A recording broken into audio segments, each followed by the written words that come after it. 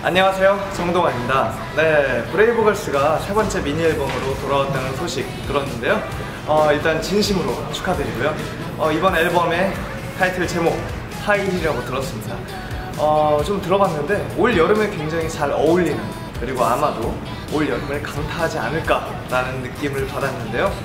네 무더운 여름 브레이브걸스의 음악 들으시면서 시원하게 나시길 바랍니다. 브레이브걸스 하이힐 화이팅!